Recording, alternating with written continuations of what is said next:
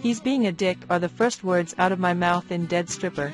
I played Jessika with AK, an art school grad who couldn't make it as an artist, so I got a job tending bar on the main line, great money, but I just got fired, tried to contact my boyfriend for some moral support, but the dick ignored me all day, which is what I just told my best friend on the phone, drinking wine all day to drown my sorrows. Decide to spend the night at my parents', so I call for an Uber and this.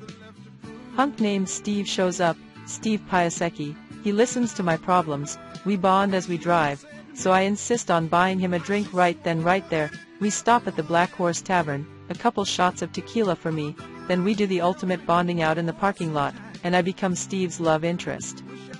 By the way, my name's Yvonne Strahovski in real life. I played Hannah McKay in Dexter seasons 7 and 8. Barry, that's Barry Bowe, America's best crime writer. He picked me for the part over Jennifer Aniston. Thanks Barry, dead stripper. Get it now.